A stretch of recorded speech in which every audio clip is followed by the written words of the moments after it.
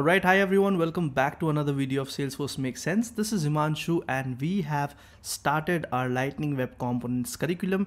We have understood the prerequisites, we did a pre-introduction and now we are ready to jump into understanding and getting started with the introduction of Lightning Web Components.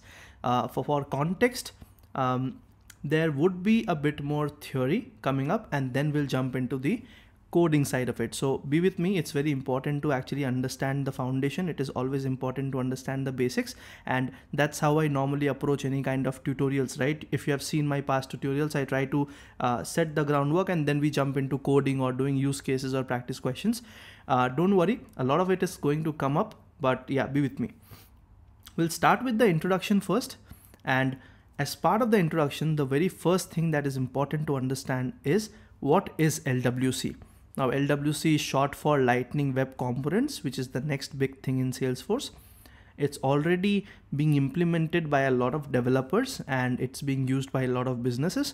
But relatively compared to Visualforce, Aura components and flows, LWC is a newer technology to adopt. All right. And that's why this tutorial, that's why these master classes wherein we want to learn LWC and we want to get ahead of the race. So LWC is modern, lightweight, and high performance framework for building custom components. Now, where would you really need it? You would need it everywhere in Salesforce wherein you need a custom solution. Wherever the platform does not provide the capabilities that a business use case is looking for, you can kind of pitch and suggest that okay let's go with building a custom component. Now how do you build that custom component is by using one of the languages. One of the languages is aura components and now we have lightning web components as the modern framework. All right? So lwc or lightning web components is designed to replace its predecessor which is aura components. And for anything here forward if you have to create anything in lightning it's more around you know creating custom components for the UI you would have to go for lightning web components. All right? So inherently implicitly what does it kind of contain? It it, it is basically a set of html js and css right? So you have the text markup language right the hypertext markup language which is your front end text you have the js which is the javascript that helps you handle events and handle clicks and listens to things. And then you have the styling, which is the CSS, cascading style sheets. These three together comprise of Lightning Web Components. Essentially, LWC inherently is basically the combination of these three things.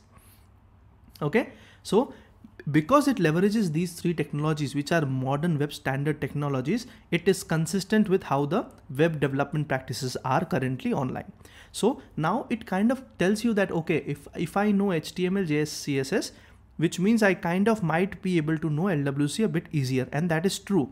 And if you do that, you are not dependent on a single domain, which is Salesforce. You can actually code in Angular, you can code in JavaScript side. It will be easier for you to understand.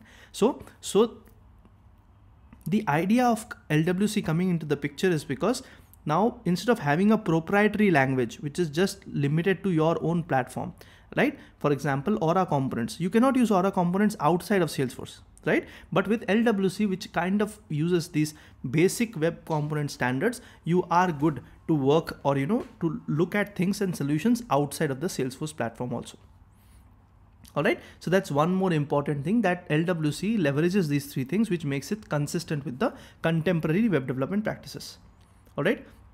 Now LWC is supported by the modern uh, uh, code building tools. So Visual Studio Code, which is something we'll set up before we start writing code, Visual Studio Code, Salesforce CLI, and it has a very robust and a helpful developer community. And any and every question that you have, a lot of articles are on, present online. You can refer code, you can get inspired from code in GitHub, and you can actually build on top of it. Okay? So uh, code builder is also generally available from salesforce so lwc supports even that. So there's no issue around whether how can I develop is are there any limitations? Nothing like that on the tools perspective all right. So that was some brief very very basic first level high level information and understanding of introduction of lightning web components. All right. I'll see you in the next one. Bye.